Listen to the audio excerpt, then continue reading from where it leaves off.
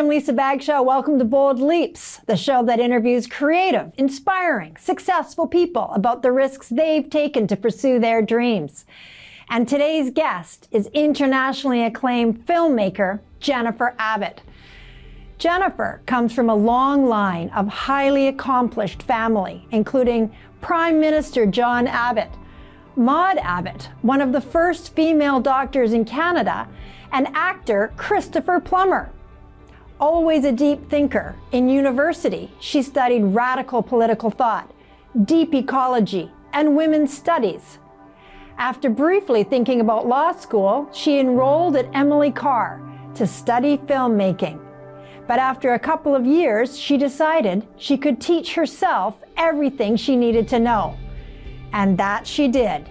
She went out on her own and began producing, directing, editing, and doing sound on films telling stories about subjects that mattered to her.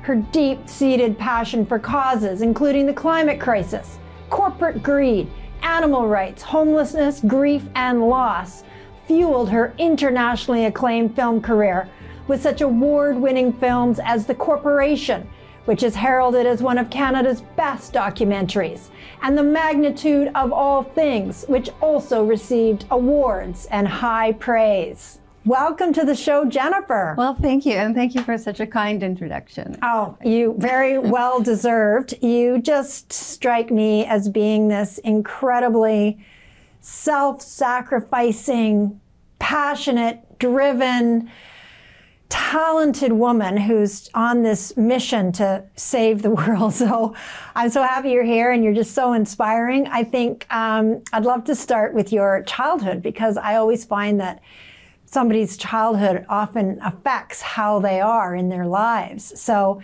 you come from this long line of highly accomplished people.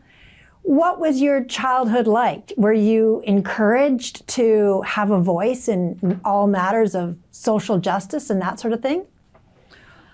Well, I had um, really quite a mainstream upbringing, I would say. Uh, even though it's true, you know, uh, I have a lot of family members that have done incredible things, including Maude Abbott, who actually fought to go to law uh, to medical school mm. as a woman. Mm.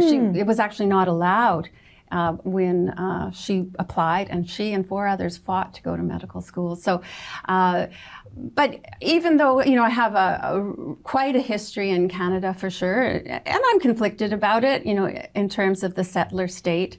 Um, and co- colonization of the First Nations people that were here um, prior to European arrival.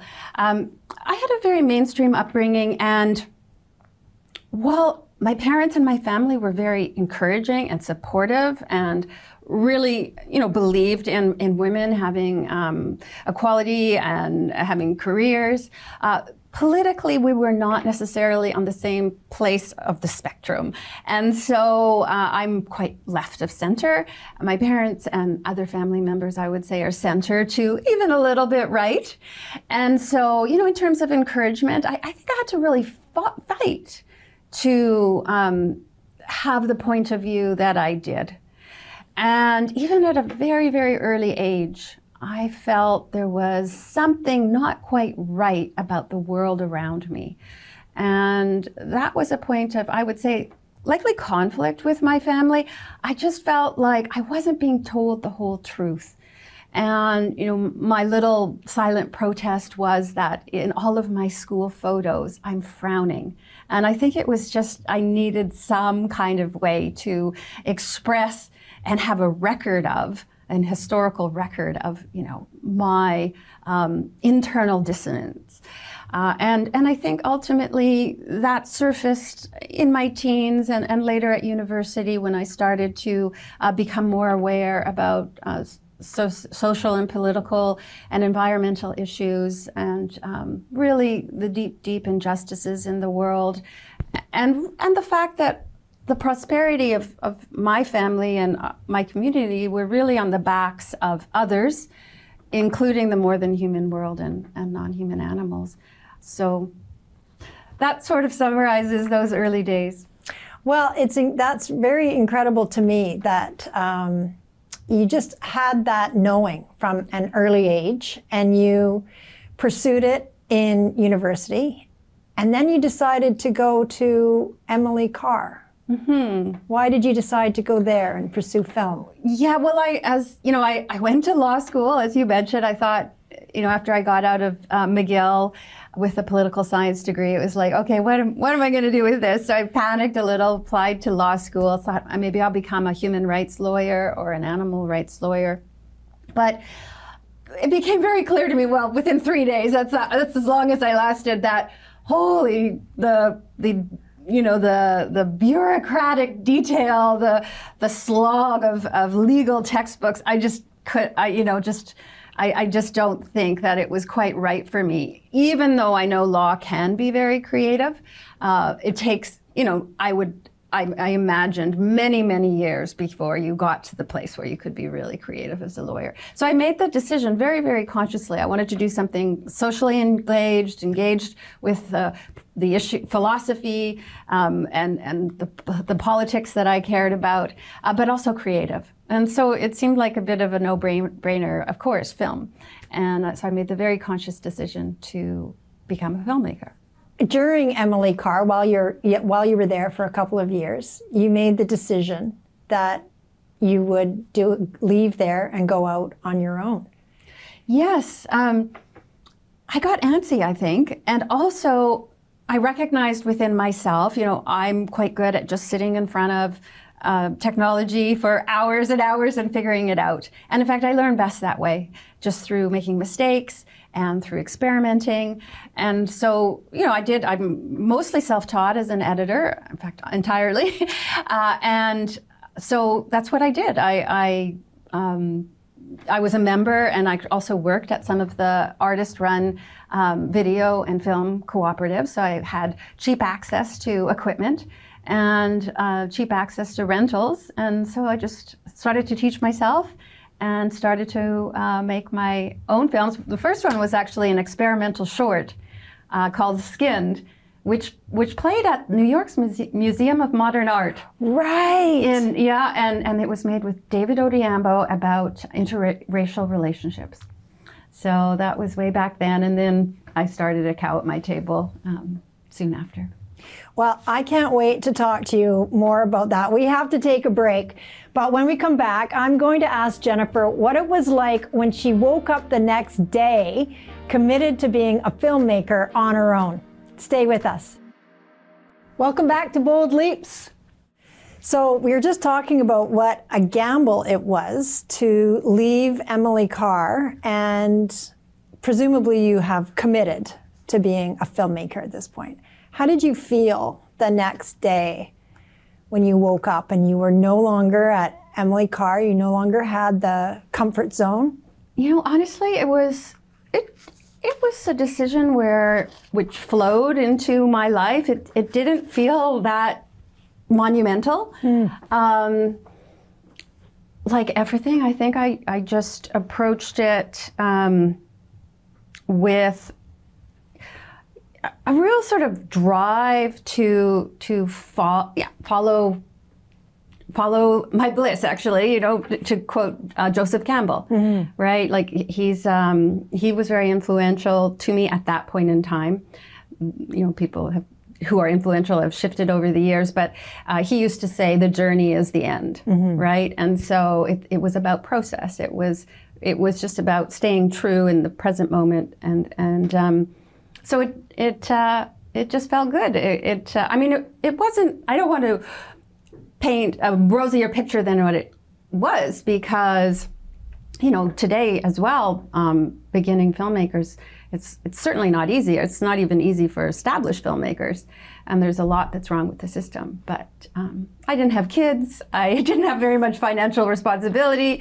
And I, you know, could just really follow my bliss, mm-hmm. follow what I believed. So you didn't feel afraid or fear of failure or anything like that? No. Yeah. No. Yeah. No, I didn't. I actually have an easier time releasing a film that might be like with the corporation, you know, it's been seen by millions. I have an easier time doing that than sometimes just, you know, being vulnerable one on one. So right. I, I, you know, I, I, I didn't feel, no, I didn't feel afraid. No. Mm-hmm. One of the um, first films that I, I, find is very insightful into you is um, A Cow on My Table, which was your first feature documentary, started in 1993. You took a lot of risks in that film. Yeah, I mean that one, A Cow at My Table. The the underlying premise was I wanted to make a film about the barriers we erect between ourselves and our prey, and who are in effect our prey. You know, the billions of so-called farm animals that we consume. And so, you know, I drove across Canada uh, trying to get into slaughterhouses, knowing full well nobody would want me in there with a camera, and that was the point. And so, you know, I got arrested at one slaughterhouse. I spent the, the night in jail. Um, and uh, funnily enough, a stranger, because it was in the news, a stranger uh, called me and said, I'll pay for your legal fees if you read these two books. So I said, okay, I'll read two books. and uh, he paid for my legal fees. But what were yeah, the two books? Oh, um, Ishmael by uh, Daniel Quinn, who I interviewed years later for another film, and Autobiography of a Yogi, funnily enough. So, why did he want you to read those? I don't know. I think well, they're very. Um, I think they were were very influential for him personally, and he wanted to, to sort of pass pass it along. Yeah. So at that time, where you're where you're and you were like sneaking under fences and getting interviews and trespassing and so what yeah. were you thinking? Were you thinking well i don't want to misrepresent the situation. I, I didn't all that i when i got arrested so basically animals need to be killed on the kill floor to be used for human consumption. And if they for some reason die before they get there they are put on a, what's called a dead pile outside the slaughterhouse where they're used for um, dog food and things like that. So from the outside of this fence, it was Intercontinental Packers in Saskatoon, I saw a dead pile with a dead cow. And, I, and so I, all I did was I crawled under that fence and I documented her body. Uh, it's in the film.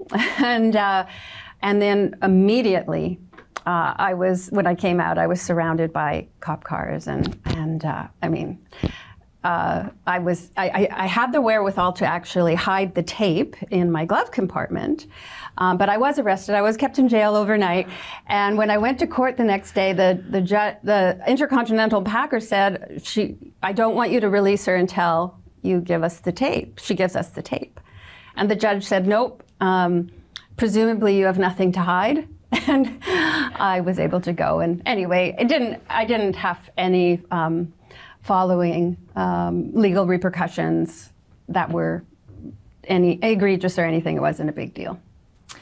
That's ballsy. and is that? Did you just have a strong conviction that I'm meant to do this? I believe in myself to do this. Well, I was more hyperbolic than I am now back then, and I did use I did believe in the projects so much. I I used to say. Uh, after I make this film, I, I could die. My life would have been meaningful.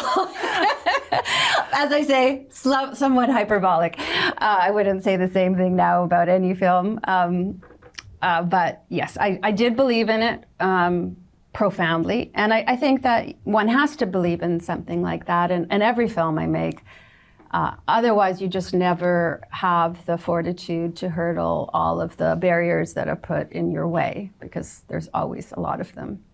A lot of barriers. Absolutely, yeah. Well, especially if you're making films that uh, are not within the mainstream public discourse. And so, even though um, like I'll, uh, for example, I'll, I'll, I'll cite the magnitude of all things, which is, as you know, about ecological grief. And it's, you know, it's two parallel narratives tell a story about cancer and climate change.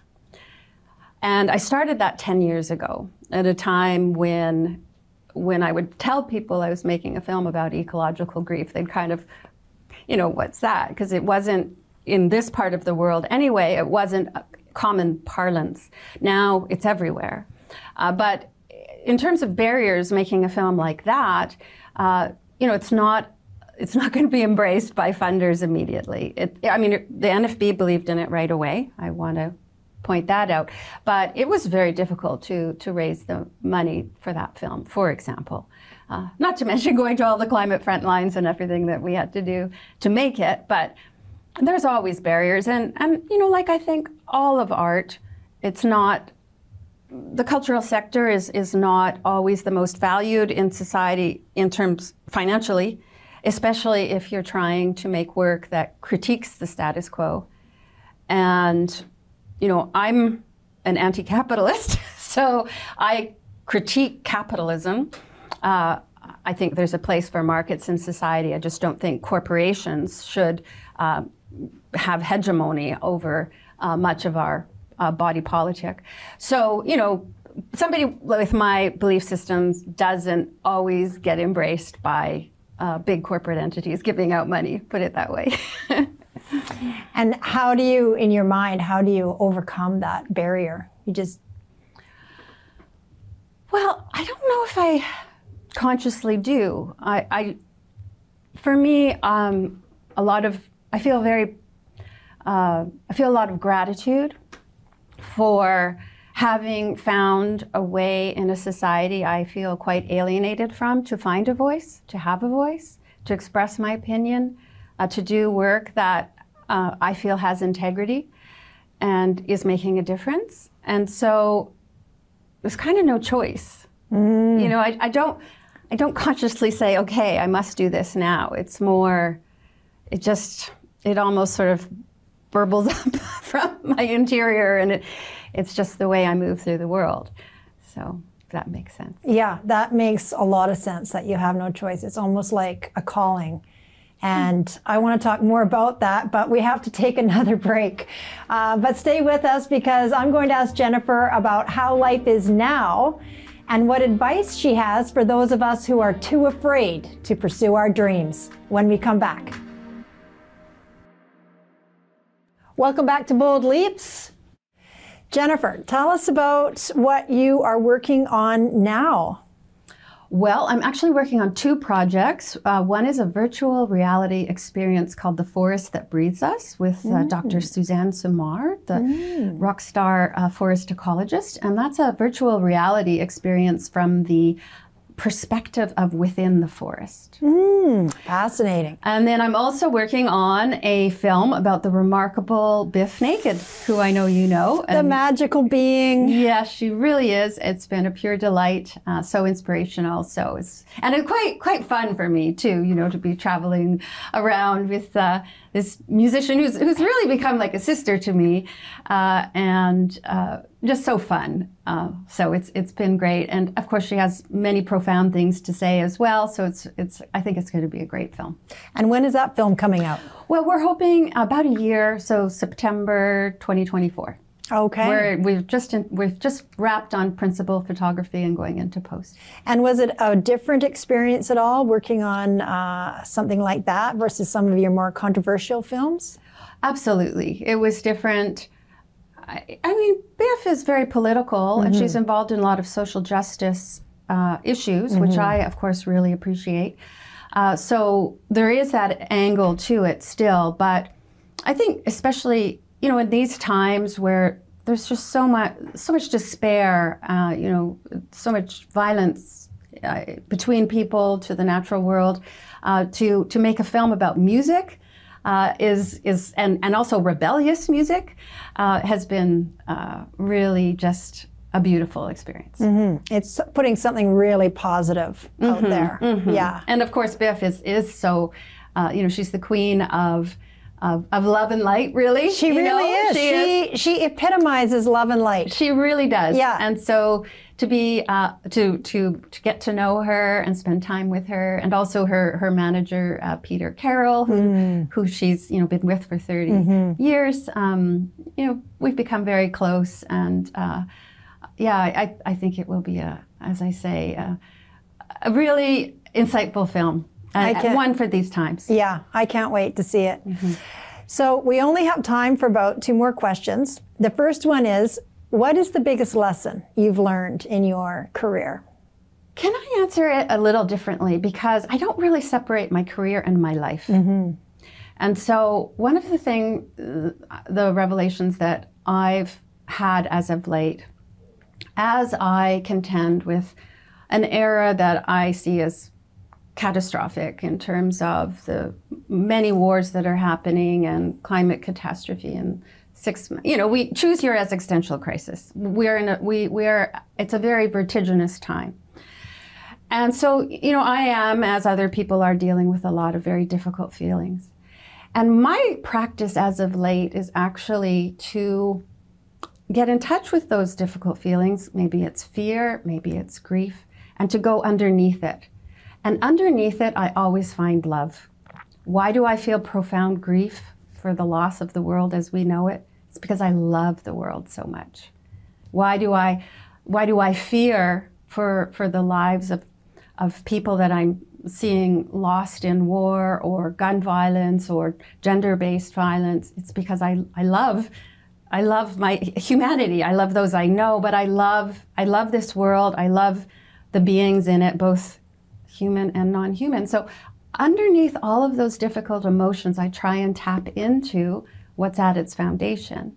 And, and that's been a, a really um, uh, a, a, practice that has brought me a lot of so- solace and also just a lot of humility and grounding um, because you know I think the last thing one wants to do is is uh, get too attached to your ego get too attached to self and what oneself has, and just keep that bigger frame, that the the world, the inter, the profoundly interconnected world that we're we're all part of. So I, I I have various practices where I try and have that kind of a perspective. That is probably the most beautiful answer to that question I have ever heard. Thank you so much. Oh, thank and you. Thank you so much for being here. Thank you for everything that you're doing to try to make us more aware and to feel deeper consciousness about everything. You're producing the most beautiful, provocative, informative films. So thank you so much, oh, and thank, thank you for you being so here. much. I appreciate it so much. Thank you. That's it for another episode of Bold Leaps. Check us out on YouTube and social media for more inspiring episodes and updates. Tell us your bold leaps in the comments.